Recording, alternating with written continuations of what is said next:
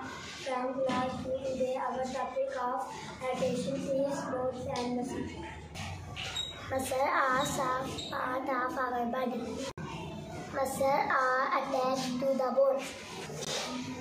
There are 206 bones in our body. The largest bones in the thigh bone and the smallest bone is uh, inside the ear. We can bend our body at the joint. Some joints allow us to move in a direction like shoulder joint, but some joints allow only limited movement like knee joint. There are different types of joints. Foot joint, knee joint, ankle joint, shoulder joint. To keep our muscles strong, we need healthy food and exercise.